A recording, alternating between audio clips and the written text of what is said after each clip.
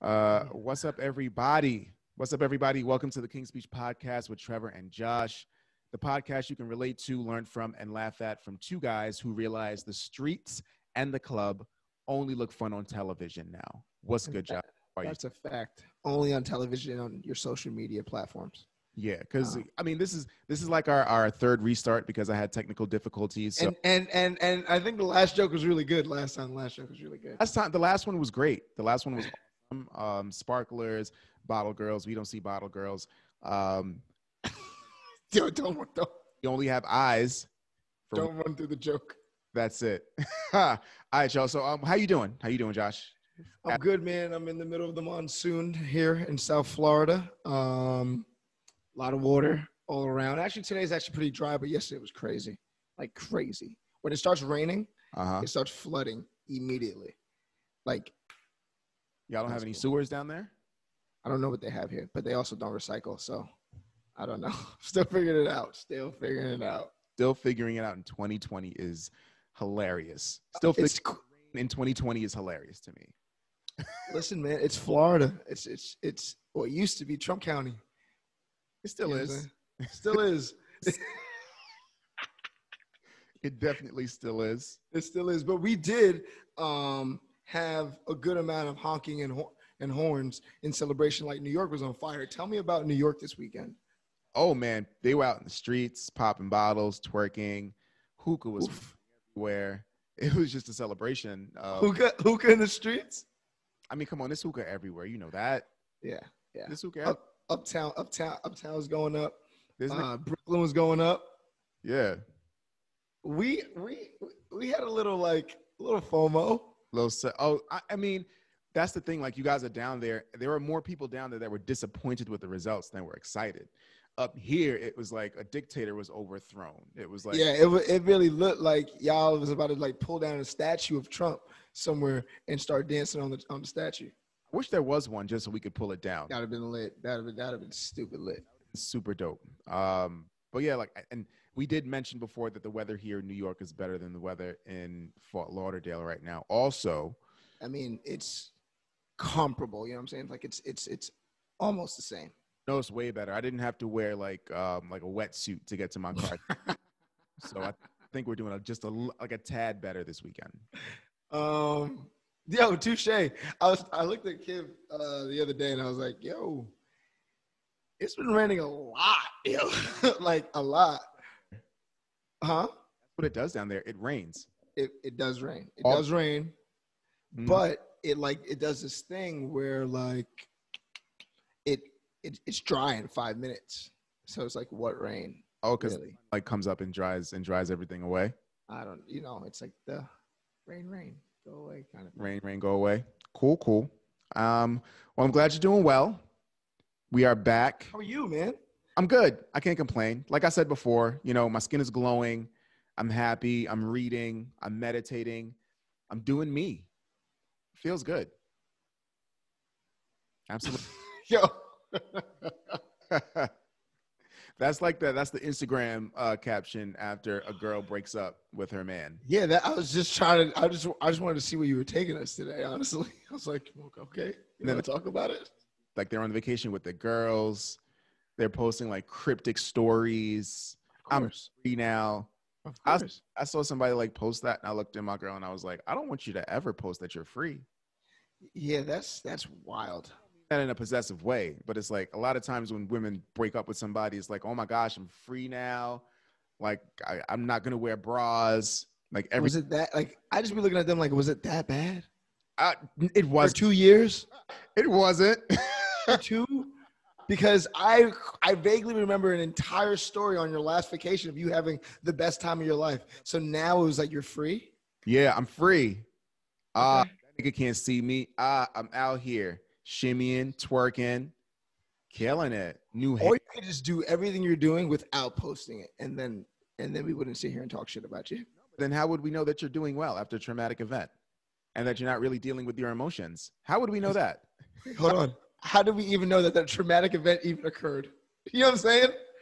Absolutely. Absolutely. So we got a lot of stuff to get into today, guys. We're going to get right to it. We got a new show format that we are rolling out for you. So we're going to start off, of course, we always do current events. Uh, this time we're going to get two stories that stood out to me this week and two stories that stood out to Josh. Um, we're going to start with my two stories. First, of course, the election results. Um, Joe Biden is now president of the United States. Contrary to what Donald Trump believes, which Yo, is, he is so delusional. Which is wild as fuck. Um, and I put here in the notes like, what now? So for me, what now follows is we talked about this like a few months ago is just like heightened levels of accountability. You know, showing up in the midterms the next time that there's an election, unlike we did after Barack was elected in 2008. We all kind of just like sat back and and let Barack do all the work. Barack do all the work and not vote anybody into Congress or the Senate that could actually support a lot of the stuff that he wanted to have passed in the legislation he was working. Right. So I think from what now is definitely the accountability. I'm, I do not want to be a cynic. A lot of people are being cynics uh, about this. About oh no, racism is over. Things are perfect. Like we know racism is not over. We know things aren't perfect. But yeah. like we're it's it's it's a, it's a time to celebrate.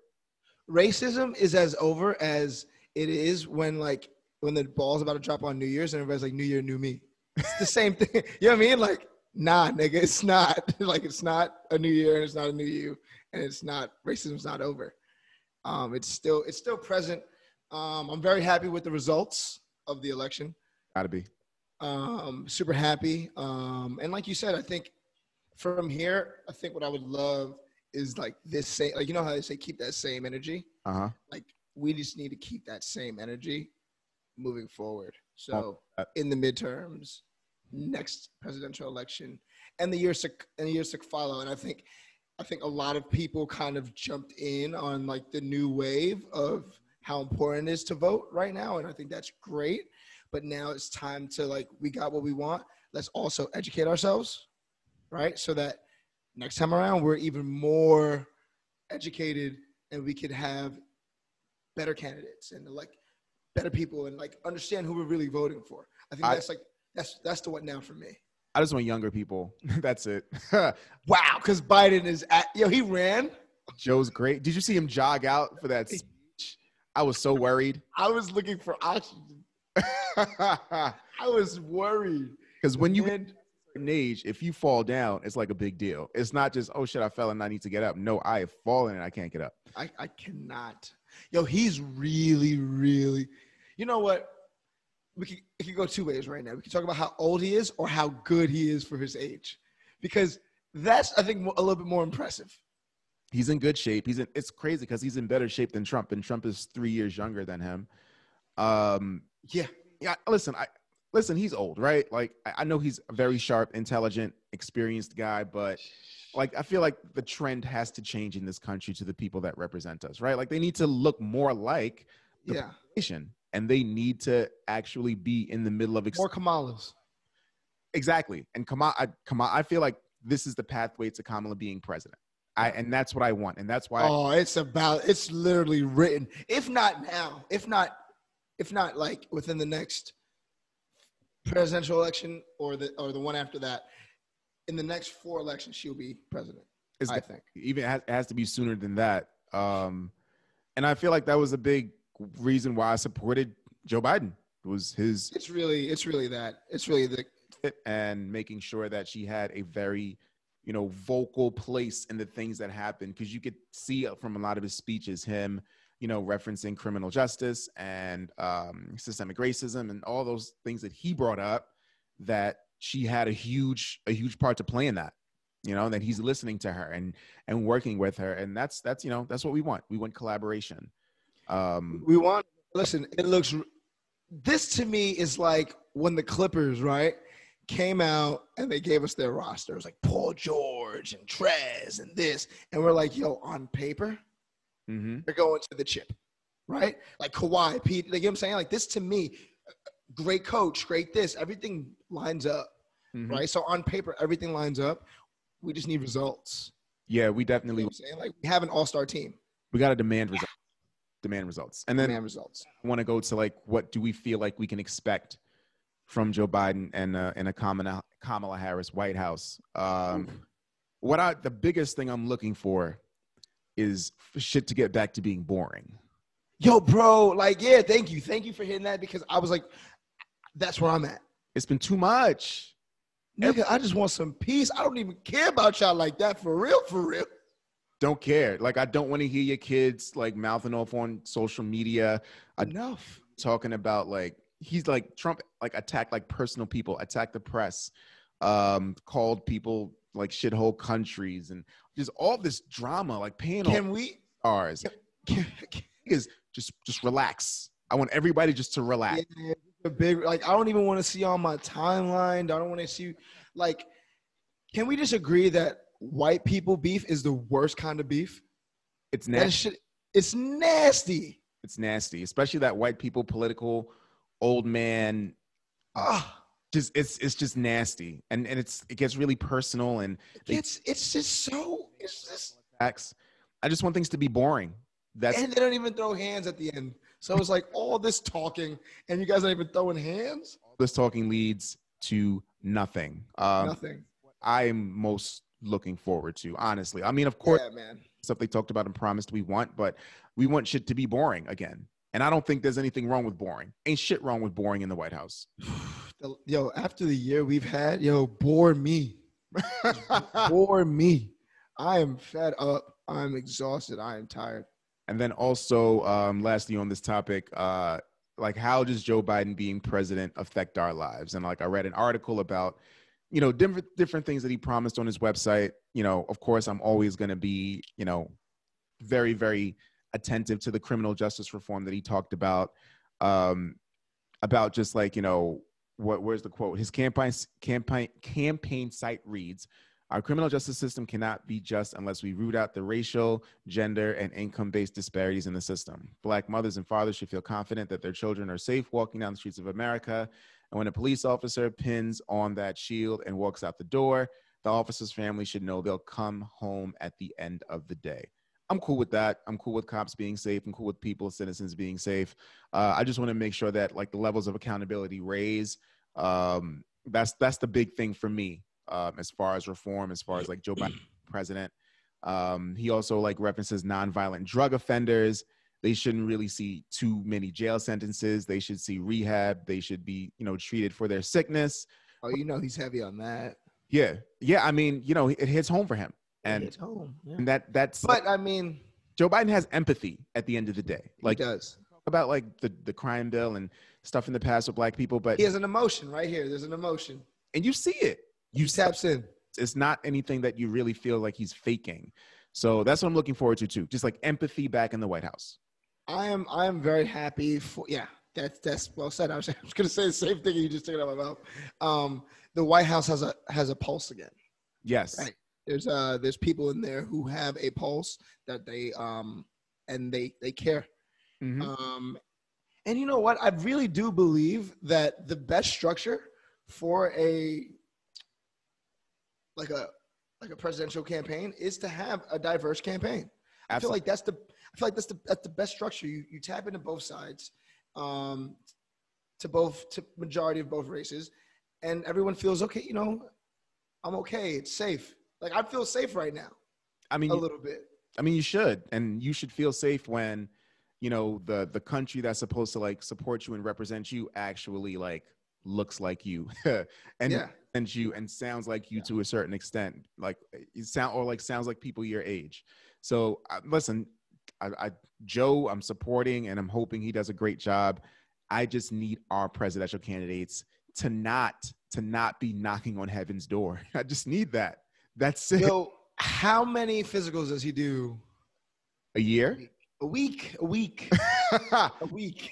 I think it's. I don't even think it's the physicals. It's like what? How many pills is he taking a day? He he has the he has the Monday through Sunday. Okay. and that one has the three compartments. Buffet. Yeah. Yeah. He has he has a little pill. Is it up for him for what he takes? Because listen, man, we're nothing without our women. That is a fact. Nothing. Paid sponsored by girlfriends. Um, yeah. So you know, big facts. Like shout out to Kamala. Shout out to Joe. And let's get that orange bitch ass nigga out the house as quickly as we possibly. Oh, fam, have some class. Get out, cuz. Why are you? Why are you? Why are you refusing to leave? Asking him to have class is like squeezing a rock and trying to get lemon juice out of it. No juice. What it is, no juice. Uh, do you think that he's moving out the country as promised? Because that's lit. Not. He's gonna stay in the spotlight. He's gonna have a TV show or a podcast or something. That's what I told Kim. I was like, he's gonna stay relevant. He's gonna be a nuisance, and he gets to do that because he has the clout. He's the former president of the United States. Yeah, and everybody's going to. I mean, I feel like certain news channels are gonna, you know, not pay attention to certain act to a certain action, but it's news. If like it's it's it's something that we can't escape. Like he's a former president. If something happens, it's news because he's a former president. That's Yeah. that's just what it It is. It is what it is. Default. Default press for the rest of our lives. indeed. It's unfortunate. Thank you, fucking America. Thank you. It's still and still and still, 70 million people voted for him. 71 million people still thought that it was a good idea for him to lead this country. Sick. All of you are fucking sick. I wonder what the percentage. Uh, You know what? Let's next topic, please. Because we uh, we'll go for 75 days on this shit. Um, the next topic that stood out to me, it has nothing to do with politics, everything to do with Cardi B. Uh, Cardi B is taking back Offset. She said that uh, we reported here, of course, exclusively on the King Speech podcast, that Cardi Don't put your hand up and pull it back so quick, nigga. When you say exclusively, on the King Speech podcast that uh, that Cardi B was divorcing Offset, and then we saw her buy. I We feel like we were the first to break that news. I We like were- we were the first. We were the first, indeed. All right, cool. saw her receive a, a Bentley truck on her birthday and hugged up and kissed up and stuff like that. And then recently she says, I'm taking him back. I just needed to him, I just needed him to appreciate me and realize what he had. And to me, that's just more evidence that women are crazy. like you that how is that a lesson? It's the how you- worst lesson. It's the worst lesson. Divorce is the lesson? Nothing means anything though. Like the coronavirus uh, rules, nothing means anything, right? Something. No, it doesn't mean. You think what does divorce mean to Cardi B and Offset? Divorce, what does that mean to them? just can't i don't like games that's it i don't like te- i don't like being tested i like everything and this is very you know i guess expectation for guys like we all want that. We want things to be like very like black and white. Tell me how you feel. Tell me how you don't feel. Tell me what you want. Tell me what you don't want. And we all know it's never that black and white which is cool. I've accepted it. 35 years old. What else what other choice do i have but to accept Right. right? However like using these tools like divorce as like a game or like a chess piece i'm not cool with that. Well, here, you know what it is, man. You, you know me. I get on this soapbox. We live in a world where the um, connection to marriage is desensitized. Like we just don't. There's not an appreciation. There's no. There's no reverence. There's no respect for it. So yeah, I could just fling around the divorce word because I never respected marriage in the first place. Mm, and that's just the society that we live in, right? Like, I don't really understand what it means to say "till death do us part." You know what I'm saying? So until I understand that, like those vows, that oath, like yeah, divorce sounds good to me, my nigga. Like, Yeah. when can you leave? You know, I mean, divorce isn't always a bad thing because like i it's like not it's not a bad thing, but it's like when you don't respect it, it's very easy for like um to sh- to prove a lesson yeah to Tell- throw it around. It's like Offset is a better nigga than me because if you tell me I want a divorce, cool. Where do I sign? Where do I You're sign? not. You're not. You're not. Yeah. talk to you about it? Say, hey, like, hey, can we work this out? Can we do this? Can we do that? If that doesn't work, where do we sign? I'm not gonna let you hold that over my head as a game, as as, as far as like divorce being a game. Two questions. But I do think that means that Cardi's really got the wop That is evident. because he's not going anywhere. She was like divorce. He was like, all right, I'll see you next weekend. It's a divorce, and your birthday's next weekend. Yeah, I wasn't gonna get you another Birkin, but I'll get you a Bentley truck. Fuck instead, right? Indeed, that's wild. Yeah. Um, yeah, I just I don't think there's anything wrong with divorce. I just think that like using that as a hey, play nice now, nigga card is just really whack to me. Yeah, it's not. But my question for you is: Is saying I'll sign the papers is that pride, and is that pride wrong? Because I'm with you with whatever you say next. I think in I think well, men and women we both have pride. It's it's uh, stereotyped that men have more pride, but Yeah.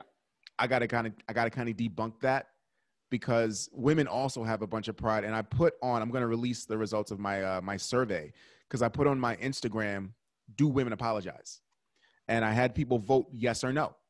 So I'm gonna res- I'm gonna you know reveal the results later in the episode of of of, of those um of those polls. Okay. Uh, But women have a lot of pride, and it's women don't apologize a lot. Some do, some don't. I think sometimes you just got to take the little bit of apology or concession that you get and understand like it's coming from a place of genuine they they care about you and they love you, but they got a lot of pride. And for me, I want to I want to clear that up. I want to clear that up with agreement okay, that yes, they do have a lot of pride, but I think they have more pride than they think they do. yes, I absolutely. think I think I think that's what it is because they think they're like oh like men are so prideful. It's like nah, like y'all just as prideful. As We, we, just show it differently. in certain situations, right? Or like or more prideful. So yeah, it's like if if you don't want to be with me, I'm gonna talk to you and find out if I can fix it, and then if I can't, then what else is there left for me to do? Oh, a little beg action. You got to beg. Come on. I, I mean, you can, you can. I'm not. I'm not telling you beg, but definitely like try to get your voice. If this is something that's valuable to you, honestly, you got to put your pride aside. And that's what I've learned in life. Like if something's valuable to you and you want it and you want it to work, sometimes you just got to put your pride aside and either apologize. I'm not saying beg. When respected, I could put my pride aside. Pride aside. Yeah. right? Like, so, like, my thing is like, to me, I don't think that dangling divorce over my head is really respecting me. It's not. It's not respect. No, I don't think so. I don't like that. I told you. Yeah, I don't like that. I don't like that. Yeah. So, like, so like that's what I'm. That's like you said, like, like put your pride aside. I think that I put my pride aside when I'm respected. When I'm like, yo, you know what? I could put my pride aside because this person is gonna respect my efforts, this vulnerability I'm about to exude. Yes. Big. Before that, you know what I'm saying? Before that, it's like, hold on, you just want to just say you're gonna divorce me so I could start tap dancing? Exact. No, I feel you. No, you're right. Indeed. Big fact. All right. What stood out to you, Oh man. Cloud? Well, are you? Um, have you been flirting around with stocks lately? Uh, I do here and there. Here and there, right? I Um, feel like a lot of a lot of young brothers are flirting around with stocks, and I just want to salute all of them trying to make money the right way. I think that's a big deal. Um, so shout out to every young guy out there who's just playing around with stocks. I have not started playing with stocks. Um, Kim is playing with the stocks. But what I wanted to talk about this week is that if you saw when the market opened today, um, the weed stocks jumped up. yes. And that's because last week, New Jersey, along with 15 other states, are now officially open for recreational use. But New Jersey was added to the other 15 states. But um, voters in Arizona, Montana, New Jersey, and South Dakota cleared cannabis for adult use, bringing the total number of states approved for that purpose to 15. So shout out to those states. Shout out to Jersey. That's big for Jersey. Um, Jersey's better than New York right now. that those toll uh, those toll bills, E-ZPass is going to make a killing. yo, they're easy. Yo, because you know, listen, this is. I'm gonna tell you exactly how niggas are in in New York are thinking about this right now. Yo, you trying to pay ten dollars to go across the tolls for some gas? Yes. Every time it's gonna be yes. If you say yo for some gas, your man's is gonna say yes. It, it- no, no price of the toll matters. It doesn't. That's that's that's the thing. Like, so I'm not a smoker. I've like had an edible here and there in life. Uh, okay, okay, okay, okay. stories will not be told on this show. Um, when we get paid, I'll tell I'll tell my edible stories. When we start getting paid, I'll tell my edible stories. Save, save it, save it for the sponsorship. Absolutely. Um, I think it's a great thing just because of like the the whole criminal aspect behind Yes. the, the stigma that you know black men are put in prison for exorbitant amount of, amounts of time for marijuana, which is ridiculous and always has been. Yeah. Um, you decriminalize it, you take the violence away from it, uh, you take the undue prison sentences away, crowded prisons, taking black fathers away from their kids. All of that stuff kind of like dissipates and the stigma starts to change uh, once it's legal. So I'm all for it. Um, I saw that uh, that story you put in there, and I remember hearing something on the news the uh, the other week where I think Oregon was decriminalizing all drugs. Yes, yes. Heavy. I think a little excessive. Oh, slow down. Okay. oh, Yeah. I think it's dope. And honestly, like if like heroin and cocaine and all that stuff like that that fucks people up, there's the reason that I don't do heroin isn't because it's not illegal. It's because it's heroin. That's the reason. Fact. Like the reason I don't snort cocaine isn't because I'll go to jail. It's because it's snorting cocaine. Yeah. So I don't really people who are conservatives think like this world is gonna like drop into just like this this anarchy and people are just like on the bus shooting needles up. And it's not gonna be and it's it's not gonna be that. No, it's not. There's not going to be a certain influx of people who's like, like you said. I, I get what you're saying. Like, It's not like, oh, it's legal now. Let me tap in. Like, nah. If you were doing this before, if there's something that you're, huh? Legal now, let me shoot up. Nobody Yeah, let me just shoot up.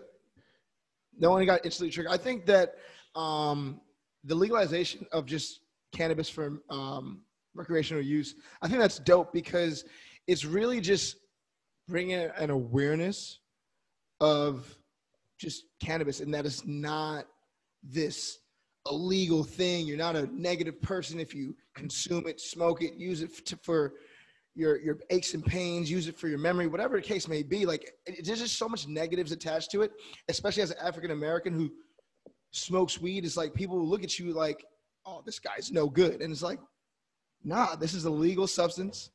Mhm. White people are making billions off of this. They I think it's okay. while we're legally making billions of this, trading between each other, stocks. So it's like there's no way you can say that this is make this makes me or it makes the African American who's behind bars because he had it on his possession a terrible person. It Yeah. can't define us, you know. So I'm really happy that we're making it legal. Um, and I think that with they were saying that with the start of like New Jersey, it's going to really start those northeast states, that, that Pennsylvania, the Delawares, the the Baltimores, the New Yorks. Like these are industries in which one we're providing more jobs, we're providing just stimulus to our economy. Like it's a great benefit, it is you know. So I think it's a great time. Shout out to cannabis for taking a big win on this year's election. Canada sounds crazy. Um, What you the got? second topic that that really stuck out to me this week was this is a little different, um, but uh, it's last week. Carl Lentz, the pastor of Hillsong, a church that I actually associate myself with, um, came out and he um, he actually got let go from his position as the head pastor at Hillsong, New York. Um, and then the following day, he released a statement of the reason why he was released, and that was because he cheated on his wife. And that is unfortunate. Um, it's an unfortunate mistake uh, that he made, but it's it's just one of those things that when you're in a position to lead millions and and people are attached to you, like the headlines say, Justin Bieber's pastor is like, fam, he's not even Justin Bieber's pastor, but because he's associated with these people, like they put him in this position where multiple people now follow him and look to him, and now I just saw- him cheat on his wife and now the church doesn't even know what to do. I saw that countdown. Yeah, yeah, yeah. Listen, like cheating is never a good thing. Cheating in a relationship is never a good thing. It's a horrible thing. One of the worst things you can do. Horrible, horrible thing. Um, however, like in regular life, you don't lose your job because you cheated on your wife. Like you don't lose at the bus at with the MTA or at in HR because you cheated on your wife. And um and this is why, you know, people and religion is always really confusing because it's forgive, forgive, forgive. Um, you know, a church is a place for sinners.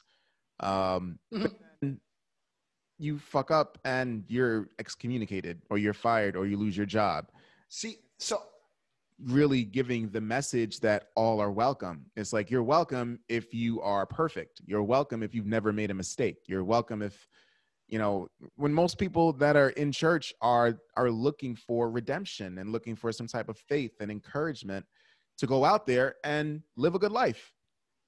um, you know, this is I, I love this. I love this topic. I love what you just, were just talking about because, yeah, that's what the church harps on. Like, you know, like come in as you are, and we accept everyone. And I think this is a very interesting situation that we have now because I do agree that he should be let go um, from his position as the head pastor. I, I do f- feel like to be a pastor of a church, you need to live a life, and um, you know that calling going into it. It's Mhm. not saying that you're you're exempt from mistakes, but a mistake of this magnitude, um, it's a moral action, so it doesn't really make you fit to lead other people who struggle with the same thing, right? So I do agree with him being terminated, but like what I want to see is how the church responds to him. And I also want to see how he responds to this. Like, because if you lose your position and your title, do you not come to church anymore? I mean, yeah. that's essentially what it is. And that's why to, No, because because it's like that's not what it should be, but that's what it's going to be. You don't go back fired from. You don't do that. I worked at a, I worked at a retail place. Don't work there anymore. I still shop, but I'm not going to go to the exact store I used to work at. you might. Everybody like, hey Trav, good to see you. You might. I'm not going to do that. No, it's too far. too Far, and it's just like a it's like a shame thing. Like even if you shouldn't feel ashamed, like it's like a shame thing. And then if he goes back to church, he knows exactly what people are talking about. He knows exactly what people are questioning But you gotta kind of compass. And it's one thing if they look at him and they say, "Hey, listen, like you're in a position where people look up to you, man, and morally you you screwed up, you fucked up. Listen, like we're gonna take away this position from you, but we're here for you. Like come come as you are, come to church, like come to counseling. Like you and your wife, if you want to work it out, come to counseling. We'll I'll talk to you and we'll work this out. I guess from the senior pastor that uh, that let him go, but that's not what. Right. It. So that's why I'm not cool with it. If it was that, I'm cool with it. But that's not what it is. It's peace out, nigga. Peace out. You cheated on your wife. No, it's not. It's I don't think it's that. I get I get your point on you don't show up to the job that you got let go of. But it's so different when it comes to church, right? Because like I think the ultimate test is based on church. The ultimate test is like you don't really run away from this. You kind of face it. You've kind of embrace it. But like we know that that's not a perfect world. No. Is he being allowed to face it? Is he being allowed to embrace it? Is he being allowed to be imperfect? Is he being allowed to be vulnerable? That's the test. I don't think That he is the test. I just think he got his walking papers and they said, "We'll see you when we see you." That's it. Like I listen, I, if it was if it was what you said, if it was so like ideal where they just looked at him and looked at his role and his position and thought you are not morally fit to lead, cool, dope. Happens to coaches all the time, happens to all kinds of people who- Right. that have to lead and have to like, you know, uh, be in a certain type of example. Shit, our president, horrible example of a man, like is not fit to lead. But Nah. if that is a church and wants to live up to being Christ-like, um, I, I, I can't, I can't roll. I can't roll. I grew up in church, was in church every single Sunday as an adolescent and a teenager, and have a great reverence for it. I believe in God. I, I like, I love all of that. Right, right. People are imperfect, and people No, run. that's fine. So what's your stance? You think that what? You think that he shouldn't have been let go? Uh, I, I do think he should have been like stepped down from that role Right. whatever like his his his, his like really like front facing role was because like i said either coach priest pastor whatever like you need to be an example to the people that you lead and if For you're sure. if you fall short then you don't need to be in that position but if it's if it's a church and he falls short like we're supposed to lift each other up right especially in church No, absolutely. I, I I think this is the biggest test. I agree with you. This is the this to me is a huge test on just the church, right? Like how do you accept someone when they make a mistake? it should be it shouldn't be even like a question it shouldn't be hard It shouldn't be a question. It shouldn't be hard. But like this is the test though. Like like do you does the church actually practice what the church preaches? oh no absolutely right? I know, and, and we will, and we'll see. We we shall see. I think another question I had for you was Christian wife, right? uh-huh Forgive your husband, right? Take him back. if you trust them. I mean, listen, we can go. Life is life, right? Like we can go Right. not a certain set of rules or commandments or Bible verses, but ultimately you got to be able to look yourself in the mirror and be comfortable with the things you're doing every day. And if you're Right. Somebody, you got to be comfortable that you trust that person to only be with you and be faithful. And if you divorce them, Yo, that has to be traumatizing. I feel like as a as a pastor's wife, you believe it's light, it's okay, it's cool. Like there's no chance, well, they put better chance than most they put their to get cheated on. Huh? they put their faith over their pride. Yeah. If you, it's not about if they feel good. It's about how's my family. It's about how's this church family. It's about how's my kids. It's about you know my Yeah. still needs to be this pillar in the community. This is tough. I watched uh, the Housewives of Potomac, and you know who watches it, so you know why I watch it. Um, and there Yeah, way to way to way to carry that on before I came for your neck. did absolutely. I mean, you know why it's on my television. You know why I'm watching it. Um, there is a a lady on there. Her name is Gizelle, and her ex husband is Pastor Jamal Bryant. He's like a big time pastor in Atlanta and down south, but he has a bunch of outside kids. He's you know cheated on her multiple times, and she decided to divorce him. And now they're together again, uh, trying to make it work, trying to make a new relationship work because you know she loves him and wants to be with him but I feel like that decision to to leave him the first time was because she felt like she couldn't trust him and felt like you know he betrayed her and their marriage and their union. Ain't nothing wrong with that. Ain't nothing wrong with leaving a nigga that, That's a fact. regardless of their position, regardless if they're a priest or a pastor or whoever. Like you got to live with yourself. Choose you first. Abs, ab, absolutely. I think that's just where it's at. You choose your, you choose yourself first, and what works best for you. Mhm. Um, however that looks. Yeah, absolutely. You can't be Make concerned about how other people are uh, are looking at it because, like I've said plenty of times, like you got to live with yourself. You got to wake up and look at yourself in the morning and uh, be able to sleep easily, knowing that you made the right choices for yourself. Right. So I just, you know, prayers out to. I just really hope the church does what the church is supposed to do. You know what I'm saying? it won't. Trevor, you have to be a little optimistic on the church now. It won't. It won't. The ch- listen. The church is a is a business, and a business is run by people, and you know what's so funny? people are imperfect. When you said church is a business, Kim gives me the news. Uh Did you hear what happened? And then like maybe like five minutes later, she's like, I did not know Carl was worth two point five million dollars. And I'm like, it's a goddamn business. It's a business. It's a business. hmm Absolutely. God is a business. It's a wild thing to to really like think about and fathom. It's God is not a business. People have made God into a business. And God's not a business. Exactly. Boom, boom. All right. So we got two more stories, two current events. One thing we have to touch on. Uh, we're setting COVID records every single day, y'all. Great job out there wearing your masks. Um, so we're getting about 100,000 cases a day. Uh, of course, that's I not. don't think the mask work, to be honest. But So that's the headline. the headline. No, like people are still getting cases. You know what I'm saying? Like you can't tell me that all 100,000 people who got affected with this didn't have a mask on. I just don't agree with that.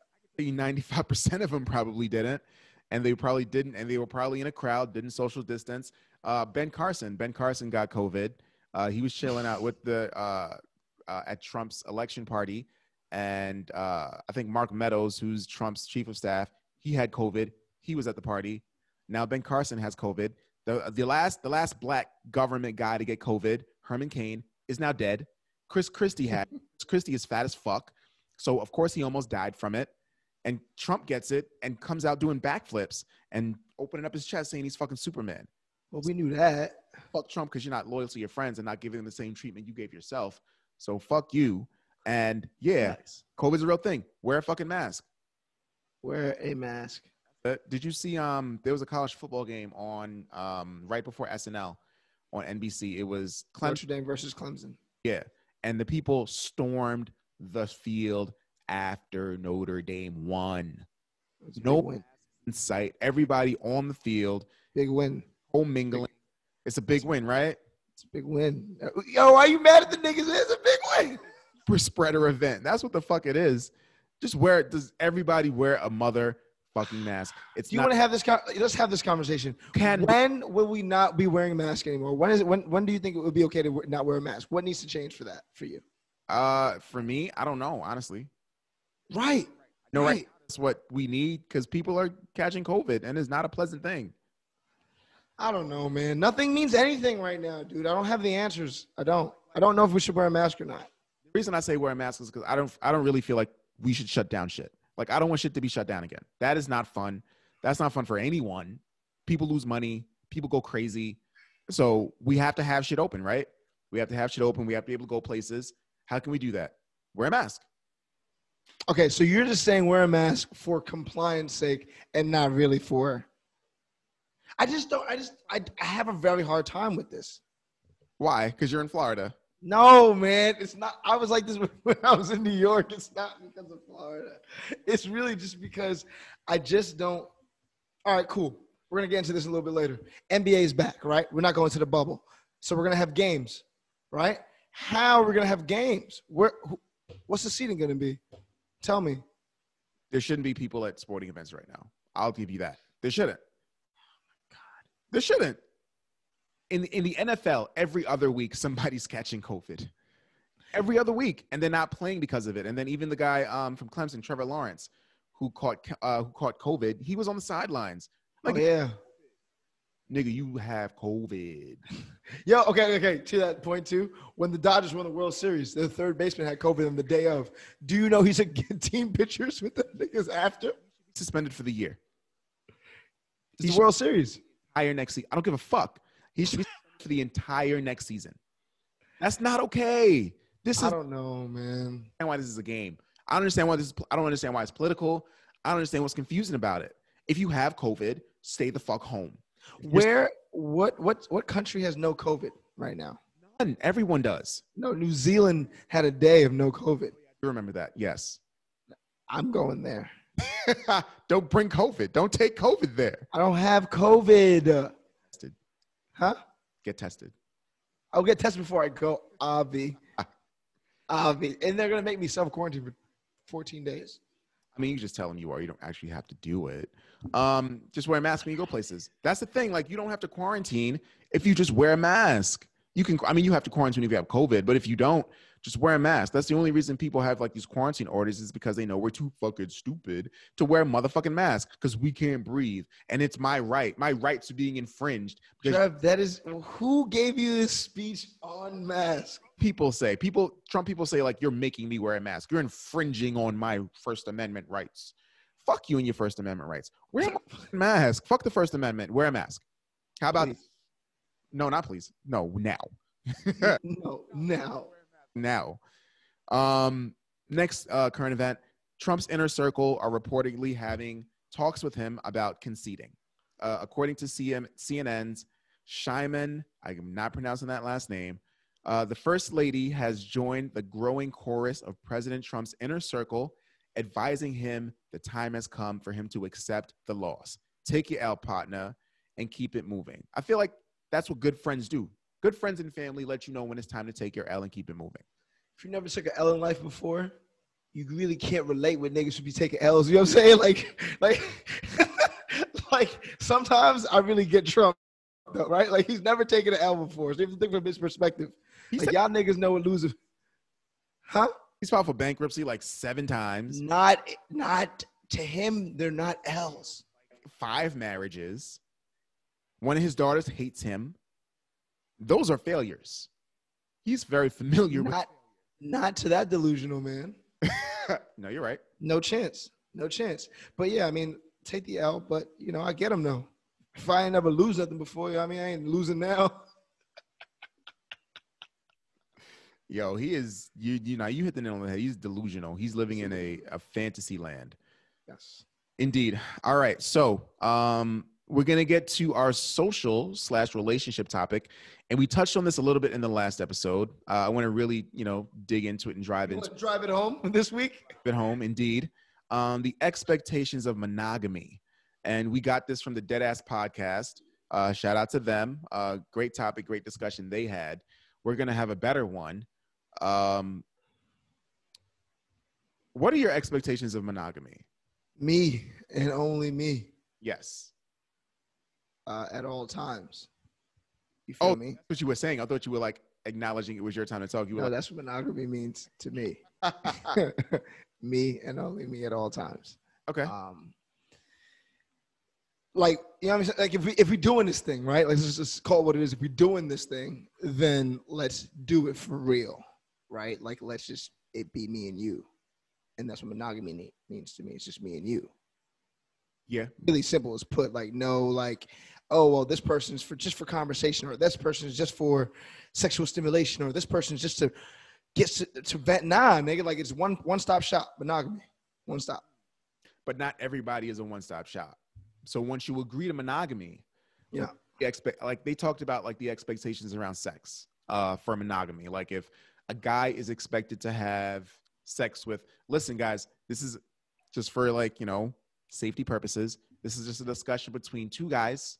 This has nothing to do with our personal situations. Comedy style. styles indeed um if you're a guy right and your expectations for sex are high and you're with somebody who expects you to only be What's with high? What's high? Let's let's get into it. What's high? um i was having a conversation a few months ago actually with uh, with one of my friends about how uh this guy was divorcing his girlfriend and one of the things that he was he wasn't pleased about was that they couldn't have sex every day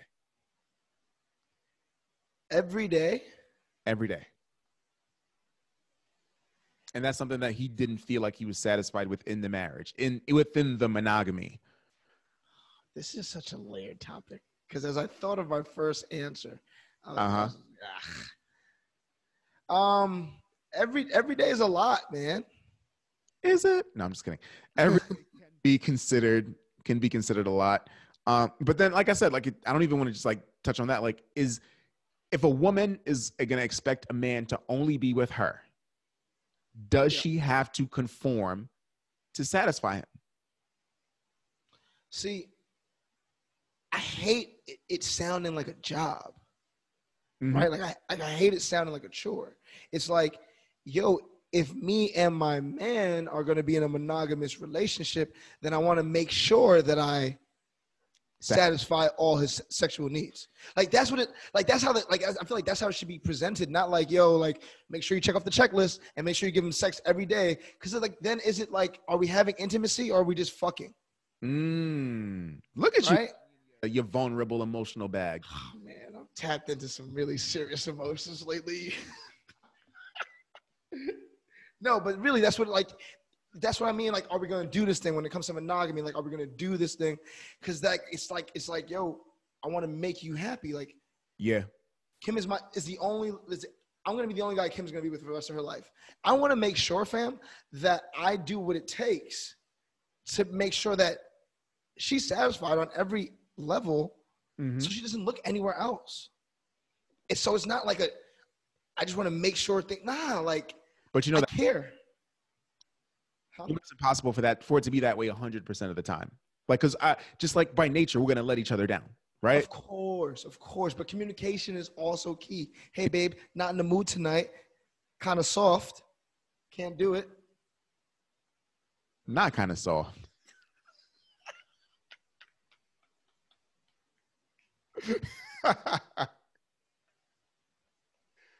oh, that's going to be a clip. Um, a point.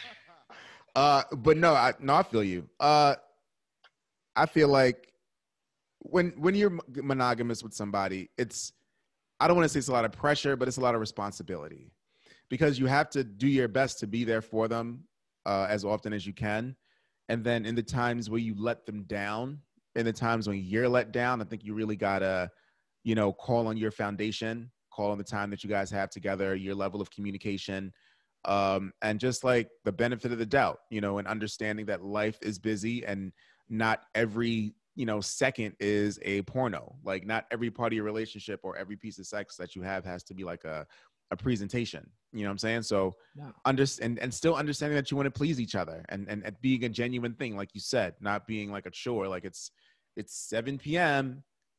T- Drop your drawers. It, it just it's like inti- like intimacy is the word for me. Intimacy is a, is a hard thing for a lot of people. yeah. when we've been so like hypersexualized from the point where we were like 12 years old. Early.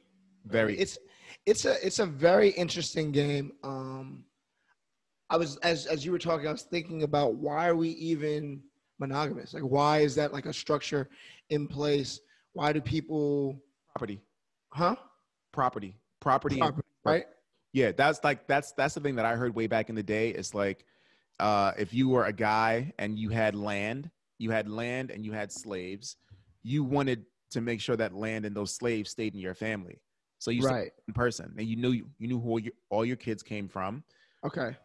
and that one person stayed with you. So there was no confusion about you know land being passed down, or slaves, or money, or anything like that being passed down. This is deep. This is deep because I because if that's if that's the basis of why, right? It means a business, just like church. It's a biz. Stop it. Oh, That's a bar. That's a bar. That's a bar. Um, no, then that means it's a business. And so then I like actually kind of want to like for me, monogamy is dope. I like it. It's wavy. It works for me. So- right. But I also want to encourage in this 2020 era, like, yo, like explore what you want to explore. Because monogamy was something that was placed like over our lives as something that we needed to find, right? Like, and we need it. If you don't need it, if you don't want it, don't tap into it. And the reason why I say that is because a lot of people think they want it, but deep down to the core, they don't. They don't. They they think they look at the idea of it and think it's something that's really cool, or maybe it's something Yeah.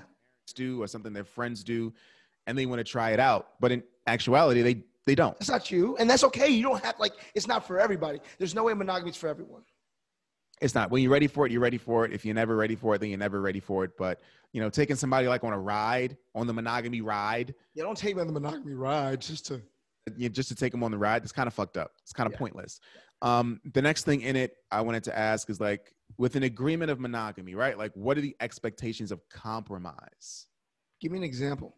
So, um, what are the expectations of like something as simple as like watching a movie or watching a TV show, like watching the show that you want to watch, or watching the show that she wants to watch, or are we going to take the time to watch a show that we both want to watch, or going to a restaurant? Are we going to the restaurant that you like, that I like, eat like all? I feel like all of that stuff is is is is comp ha- is compromised in monogamy, and I never look at compromise as a bad word. Some people do.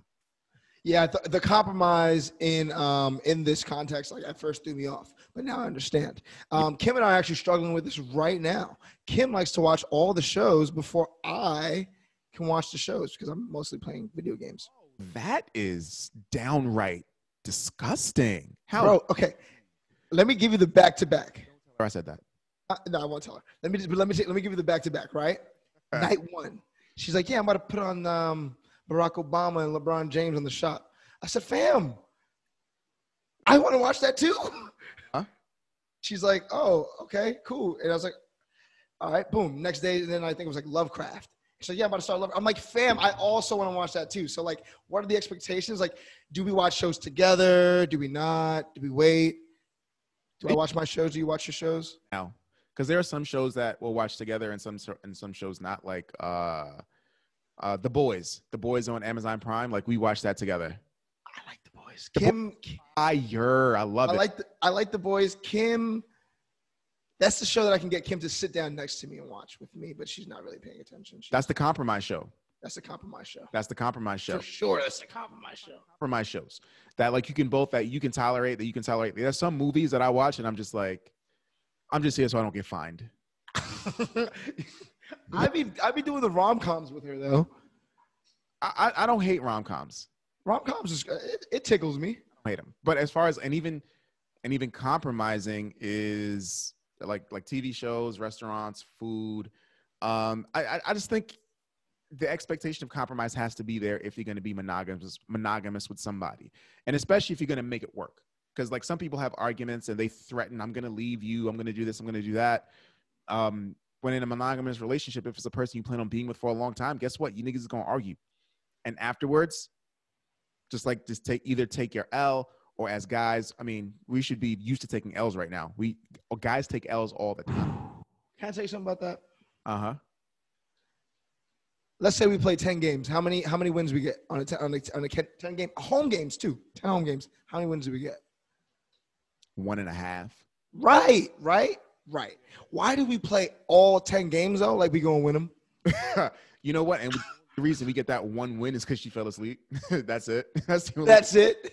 It was an off night. I was tired, long day. You got Load management. Literally load management. and then they double up and blow you out the next night. And then you get clapped because you think you're good. You're not good. Nigga, sit down. About forty the next night after you won by five. The Yeah, Bron, Bron and AD played the next game. Now what? you only won because she missed some free throws. Uh, Literally. Yeah. Speaking of NBA, uh, our Look at Oh, look at that segue. segment, sports, sports, sports. Um, NBA back. Wait, hold on, hold on. As we touched on sports real quick, I just want to shout out my city, my second city. Hold on. Oh, now it's your city. One sec. You already know what it is, man. Vibes, indeed. L- LA, LA, my second city. Indeed. Um, champs, two times. Dodgers, Lakers, and basketball is back. Is. Bron playing on Christmas? Absolutely, he is. Fuck no. That nigga said no. People talk tough. That's all that is. All that is tough talk. Niggas talk tough all the time. You know how many things I say I'm not going to do that I do? Yo, I am the king of not doing anything Well, n- saying I'm not doing. Okay, put it on my calendar. All right. Yeah, Uh, 12 works. exactly. Absolutely. Bron's playing. And listen, I don't think anybody should sit out. I feel like it is totally fine to have this turnaround. I feel like COVID is a thing that has affected everybody's life, the way everybody works, the way everybody plans. So you're no different. Plain and simple to me. That's it.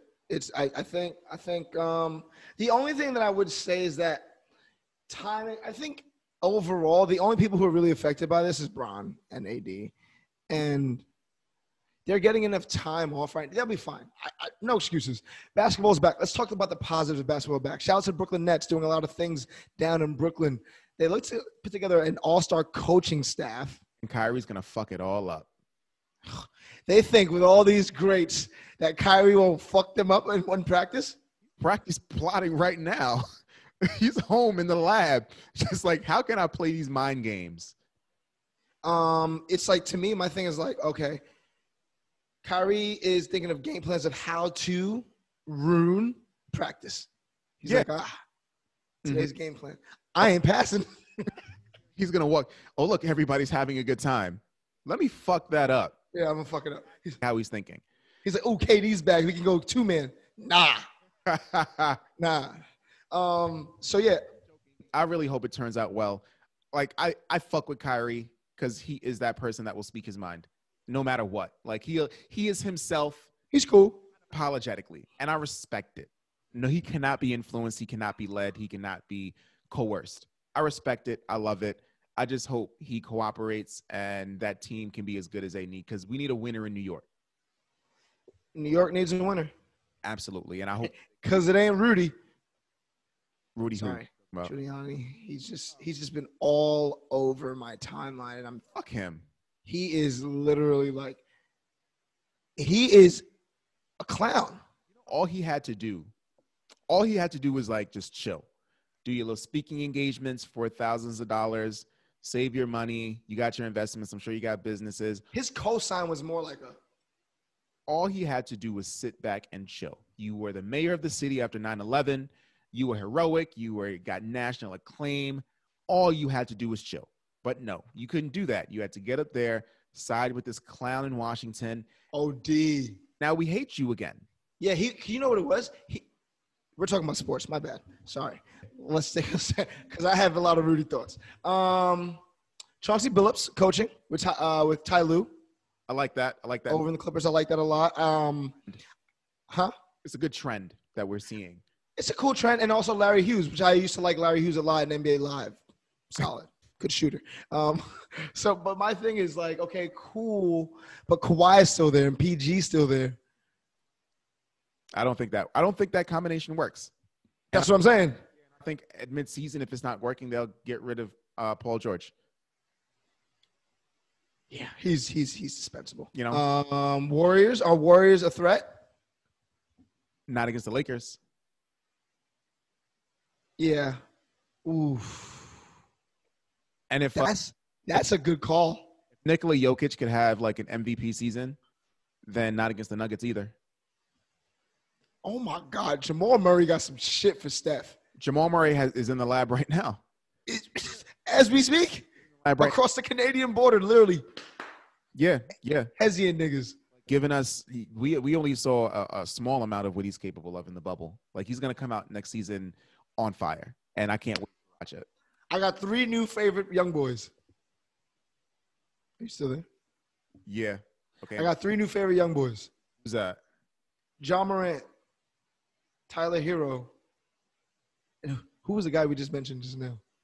Oh, Jamal Murray. Jamal Murray. Those are my three. Those are my three favorite young boys. That's a good group. Solid. Yeah, And yeah. Like I said, the league is in good hands. Like the next season is going to be dope. Um, of course, like I feel like Wait, whoa, hold on. Draft. What about the draft? I haven't even been paying attention to who's uh, available in the draft. Or Jay- less of who's a, who's av- I- I know like the handful of who's available, whatever, cool. A good a good little pool of guards, a couple good bigs. But when are they drafting? And when will they? If, if the league, if the season starts next month, Is in a few weeks. it has to be niggas have to get drafted today in order to warm up for the first game in December. They're not going to have much time. Uh, the draft is on November 18th, and then the season starts a few weeks Okay. after that. Listen, like I said, this is COVID time. Everybody's been affected. You've been affected. I've been affected. Nobody's nobody's immune. It's for everybody. It's everybody's going to have to adjust and you know adapt, and it's and it's and it's it's not a it's not a problem. Like just do it. You compensated very well to adjust and adapt. Yeah, I don't feel bad for him. Yeah. I feel bad for my damn self right now, honestly. Listen, take care of home first. right. Exactly. Um, and then the last thing I had was there was this like we were gonna have I guess like we were talking about UFC earlier. I saw this fight end uh, where welterweights Max Griffin and Ramirez, a name I'm not pronouncing, was called in the third round after referee Mark Smith noticed the state of Ramir Ramiz's his name sorry Ramiz Ramiz's ear. His ear was flopping off of his face Oh, that's just I just seen it. of lunch meat. You there's not an amount of money you could pay me to get in the ring and, and, and fight like a person like that. You see, that video is like the most gruesome of the gruesome. I've been watching all the highlights, like on the UFC um page, Uh huh. and you couldn't pay me to do less than that. Less. I think it's hard to watch sometimes too. There's so much blood. I'm not. It's very, yeah, it's it's it's difficult. There's a lot of blood. There's a lot of like broken bones, like compound fractures, and then like a, like a guy's ears falling off. Nah, don't. Nah, uh, uh Do not sign me up. I'm good. My ear hurts thinking about that. I'm. I mean, shit. You got an ear that that can hurt. Fact. His don't- ear is. and he lost that fight. That's the thing. Like, I'll I'll work maybe you know three or four months get ready for this fight. The thing, the last thing I'm thinking is that I'm gonna leave here without an ear. Yeah. Last thing, I might think I might lose. I might get Might I might I might I might tap. I might tap About. but I'm leaving here with my ear. I got that. both of them. both of them. Both of them. Both of them. I know that. Yeah, that's fucked up. Yeah, it's tough. Oh, that was nasty. I just looked at that. That was nasty. Yeah, it was it was super disgusting. Um, that's all I got. Oh, you didn't share your results. Oh, my results. Hold on, let me get my phone. Trev. breaking news, breaking, breaking, breaking social media news.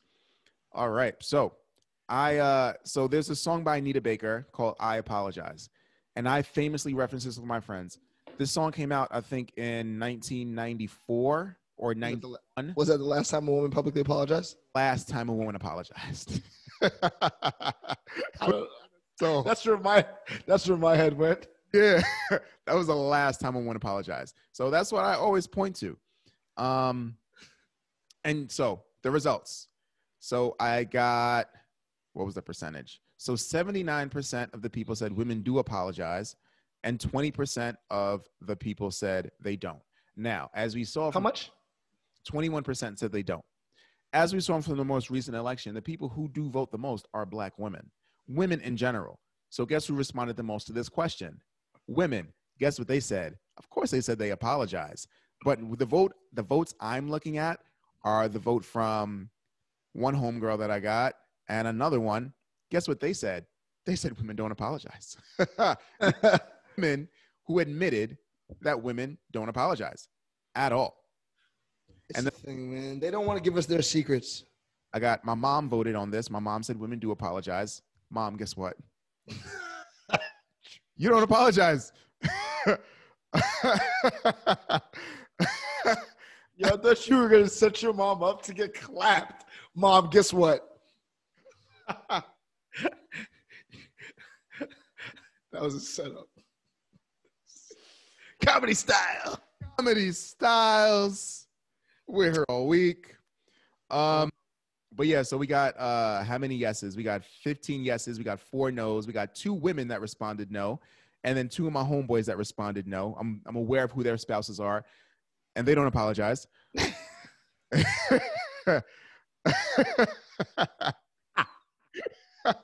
Shade. no shade, I love them. They're amazing women. Um, and course. women that just replied yes, um, that women do apologize. Yeah, so those are the results. Hey man, we knew what it was. Ten game, ten game. You have a uh, ten game home Home. homestead. One and a half games. Look, just looking to get one. won the game. She won the game on a goaltending call. Um, Yo, it really be like those random plays. Oh look, When win a the flagrant foul, the ball back and possession. Wow. game.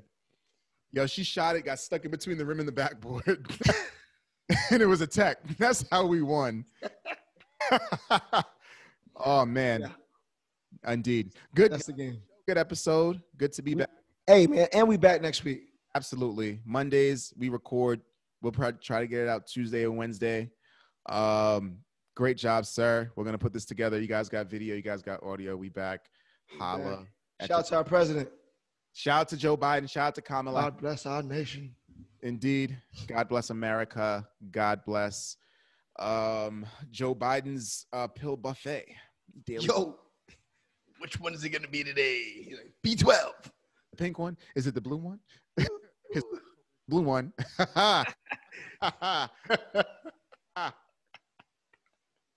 Shout out to Joey, man. Joe, indeed. All right, guys. For Josh it's Trev. We out. Peace out. Thank you guys. Hit the social. Peace. Share videos that you like. Share audio that you like. Share, share, share. Share it. Link in the bio. Peace. Peace.